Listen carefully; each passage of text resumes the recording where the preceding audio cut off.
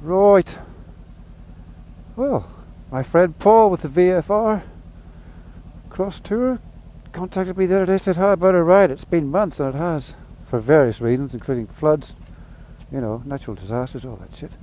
So anyway we're off for a bit of a ride together this morning and we both pored over maps independently thinking where the hell can we go? The, the road is actually still open and there's not some sort of destroyed bridge or whatever so I think I've found us somewhere to go where we're not looking at all the destruction that is all we've seen for the last month and a half. We hope so anyway. It's uh, need to get away from it. So let's go.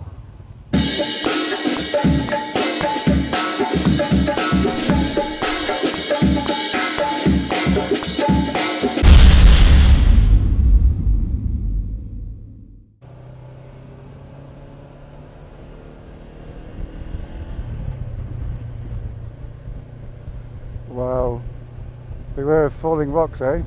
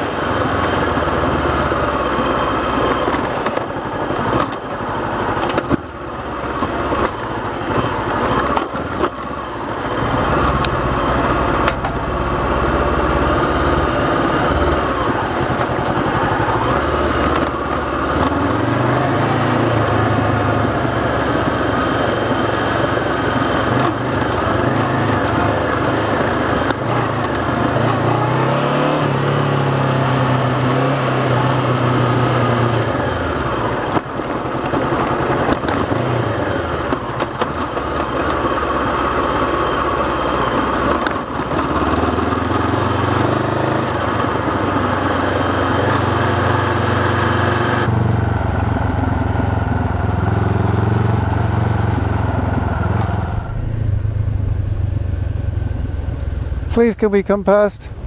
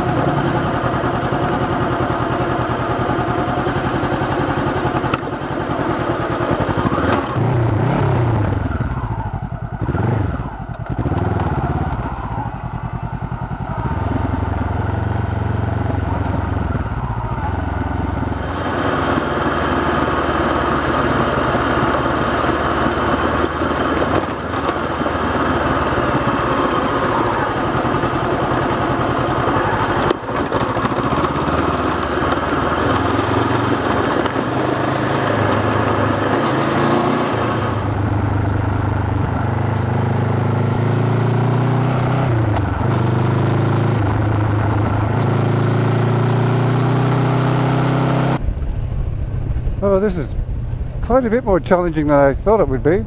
It's obviously had a lot of damage from the floods and that, but so far so good.